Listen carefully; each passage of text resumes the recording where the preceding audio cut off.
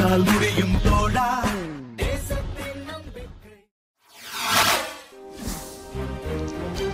கரூர் மாவட்ட மின்வாரிய ஓய்வூதியர் சங்கத்தின் இருபத்தி மூன்றாம் ஆண்டு தொடக்க விழா மற்றும் பொதுக்குழு கூட்டம் நடைபெற்றது.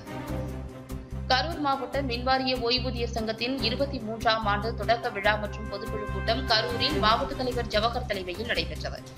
இந்நிகழ்ச்சியில் கௌரவ தலைவர் சிவராமன் துணைத் தலைவர்கள் ரத்தினாசலம் பெரியண்ணன் ஆகியோர் முன்னிலை வகித்தனர். கரூர் மாவட்ட பொருளாளர் சின்னசாமி ஆண்டு வரவு செலவு அறிக்கையினை தாக்கல் செய்தார்.